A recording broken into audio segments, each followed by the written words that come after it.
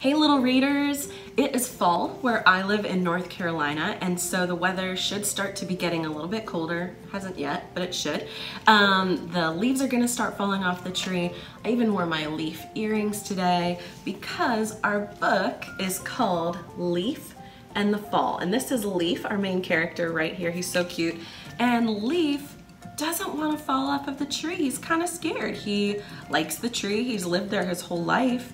And so he doesn't want to fall off the tree. So he comes up with some ideas on how not to fall. Um, and you'll see he has some help from a friend. And I won't tell you the ending. You'll have to watch, okay? We are going to draw because we love to draw here at Storytime with Andy. So we're gonna draw our little buddy Leif right here and some other leaves around him, a little acorn, that kind of thing. So grab a pencil or a crayon and a piece of paper and you'll be able to draw along with us after the book. But first I wanna say a special hello to my buddy Finn in Wilmington, North Carolina. Finn has the best smile. I'm so glad you're watching today and I hope you like this book. All right, you guys ready to fall with Leif? Let's do it. This is Leif and the Fall by Allison Sweet Grant and Adam Grant. Leif is a leaf, a small green leaf with browning edges who lives in a big oak tree. The breeze is blowing harder, Leif says to himself. The days are getting shorter. It's nearly fall. Leif knows that in the fall, leaves fall from the trees, and Leif is worried. I don't want to bump my head, Leif says to his friend Laurel. I don't want to skin my knee. I do not want to fall. Let's figure out a way for you to catch yourself, Laurel says. All leaves fall in the fall, the other leaves say. But Leif is determined, and with Laurel's help, he comes up with a plan. The next day, Leif and Laurel gather twigs and they build a net. Now you can use the net to catch yourself, Laurel says. But the holes in the net are too big and Leif is too small. He would slip right through. So Leif tosses the net to the ground below. You're wasting your time, the other leaves say. All leaves fall in the fall. but Leif comes up with another plan. This time, Leif and Laurel gather vine to secure Leif to his branch. Now, no matter how strong the winds blow, you'll be able to hang on, Laurel says. But Leif accidentally wraps himself up too tight. Help, he cries. I'll get you out, Laurel says and hurries to help Leif wriggle free. Leif tosses the vine to the ground below. You're wasting your time, the other leaves say. All leaves fall in the fall.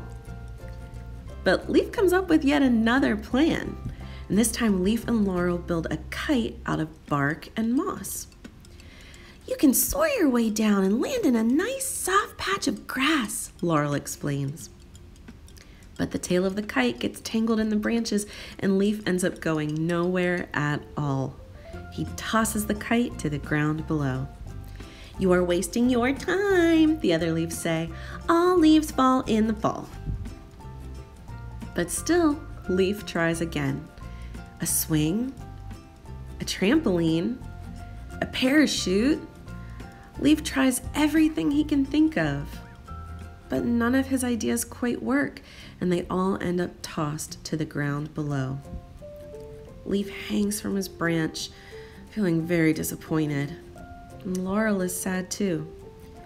You had a lot of good ideas, Laurel says. We told you, taunt the other leaves. You were just wasting your time. All leaves fall in the fall. Days pass, the air grows cooler, and the wind blows stronger. Leif's edges turn browner. All leaves fall in the fall, he thinks, and he feels as if he has failed. Leif hangs from his branch, shivering and afraid. Laurel gives him a squeeze all of a sudden, the wind churns, the branches shake, and with one large cold blast, Leif can hang on no longer, and Leif falls right onto his pile of discarded ideas. All the ideas that Leif threw away, the ones he tossed to the ground because he thought they'd never work, made a structure tall enough and strong enough to stand on. Leif can't believe his eyes. He stands up and smiles. Then he grabs Laurel's hand and together they walk right down to the ground below. The end. All right, everybody out there who's ready for fall to happen. This was a great fun book about leaves. Um, and we're gonna draw the cover right here. We're gonna draw our sweet little buddy Leif. And um, you guys can follow along if you have a pencil or a pen, all that good stuff, okay? Leaves are really easy actually, so we'll, we'll have fun with this. First, we're gonna draw um, our stem, okay? So it's really simple. It's a line coming down. It gets a little bit thicker at the bottom. Boom, done. You got your stem, okay? Now we're gonna draw a leaf and you're really just gonna go like one hump, two hump, three hump, four hump up to the top, okay? So one, two, three, four, up to the top. And the same thing on the side, doesn't have to be exactly the same because leaves are not always symmetrical, okay? So we'll do one, two, three, four, five, up to the top, perfect. So um, a lot of leaves have what you can see is called veining. So like see these lines coming down? That's called veining of the leaf. Um, so you can draw that if you want. Maybe we'll do it with a pencil so you can like just barely see it, okay? So like you would come right up the middle, and draw a vein and then maybe a couple veins coming out to each side of the leaf. Kind of like that. All right, cool. All right, now let's draw his face. He has a really simple, sweet face, right? So we're gonna draw these eyebrows, which go straight up and down. So just draw lots of lines up and down like that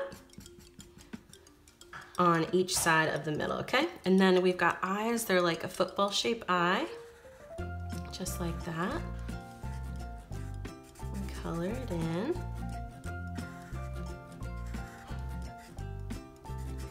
There's his eyes. He has a teeny tiny little nose, just like that.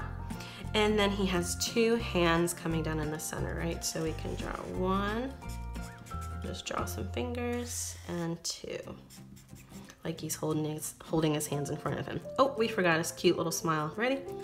There we go. Um, all right, so there is Leif. Um, you can draw any of these other leaves around him. You can draw an acorn. In fact, why don't we do that? We'll draw some more little leaves. So we'll do a stem right here. You can do that if you want. And then you just go one, two, kind of have it come off the page. That's an upside down leaf. You can have another leaf coming in like this.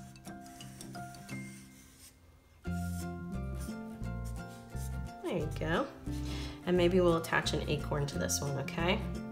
So we'll come a little tiny stem. We'll make a semicircle and then a big long oval down here. Tiny little dot, and then you can kind of like dot your pen on the cap of the acorn and that way you know there's like texture there. So there's an acorn, there's some more leaves. Like I said, you can just kind of keep drawing leaves on this side if you want.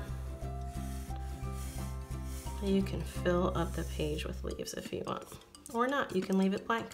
All right, I am gonna leave some room to draw the title of our book, okay? This is Leif and the Fall, and you can see Leif is spelled, whoops, Leif is spelled differently. Um, so it's not L-E-A-F, it's his name and it's L-E-I-F. L-E-I-F. Leif. And the F-A-L-L. Leif and the fall. There you go. All right, that was Leif and the Fall. And hey, I'll tell you something. You know, um, Leif's friend Laurel in the book, Laurel is named Laurel because that's also a type of tree. And so she's a laurel leaf, uh, which is kind of like a funny little joke in there. So hope you guys like that. And I hope you are enjoying fall if it's fall where you're living right now. Hey, I'd love to see those leaf pictures. So get with your mom and dad, see if they can post them on our Instagram or Facebook page. And that way I can see all your amazing art. All right. Okay, everybody, stay well, keep reading.